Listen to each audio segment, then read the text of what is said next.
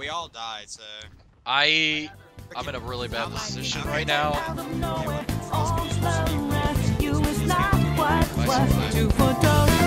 You never see it coming.